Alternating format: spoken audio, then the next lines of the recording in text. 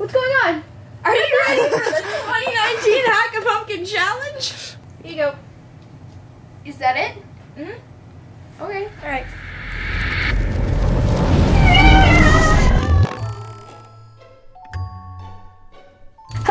this is Allie from Tech-nic-Allie Speaking, and today we'll be launching our third annual Hack a Pumpkin Challenge. As you can see, because I have a bunch of pumpkins and Halloween decorations in my studio, thanks to Sean, our editor. The Hack a Pumpkin Challenge is a fun and engaging way to do something we all love around Halloween time and uh, win awesome prizes for it. So um, basically all you need to do is hack a pumpkin. You would carve a pumpkin, add electronics to it, paint it, bake it into something. Like if you want to make pumpkin pie or something, that'd be really cool.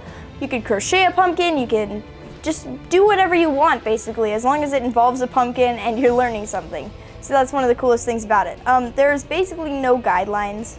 And uh, as you can see from some of our past entries, which will probably flash up on the screen here somewhere, um, it's gotten to be really, really interesting what people have come up with because there is no guidelines. So uh, being able to just learn and engineer and learn the engineering process through hacking a pumpkin is something that is really cool.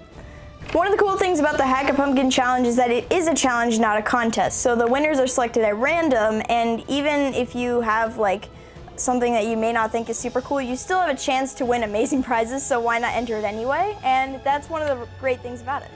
So yeah, we really just wanted to make an opportunity to let you make something, anything basically, and just use your imagination to make something cool, put it out there, and show off how cool you are.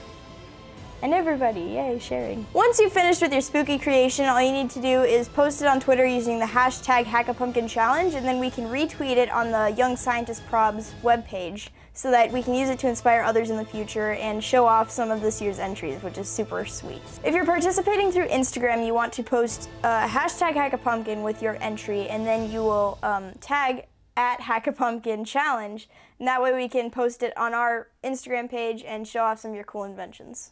Thank you all for participating this year. I can't wait to see your entries, and uh, let's get making. Happy hacking. Happy holiday hacking. Happy holiday Halloween hacking. Happy Halloween holiday hacking. Yes.